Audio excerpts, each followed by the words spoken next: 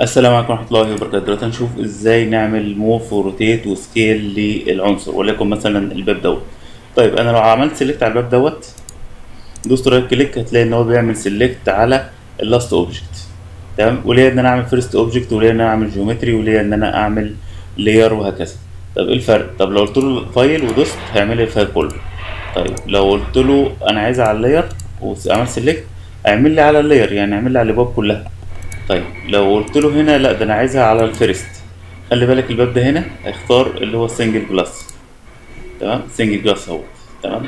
طيب ممكن ال single glass ده يكون تحتيه عناصر كتيرة جدا. لو أنا قلت له اعمل لي بقى على ال last object وعملت select هيعمل لي select مش على single glass لا على ال ال type بتاعه.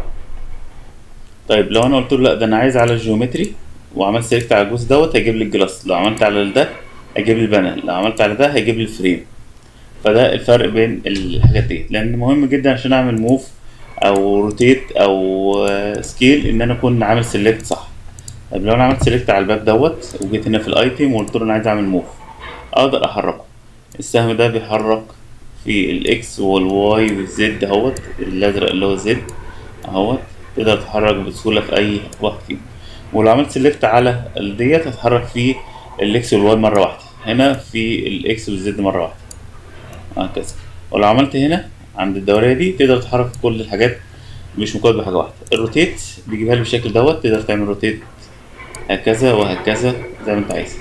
ال scale تقدر تعمل scale فيهم كلهم أو تعمل select هنا الدورية في النص عشان تعمل select على كله. زي بعض. ممكن تقول له reset يروح مرجعهم لك زي ما كان.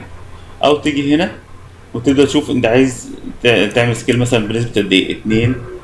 هنا بتكتب بالأرقام فبيبقى أسهل لك إن أنت تتحكم فيهم أكتر.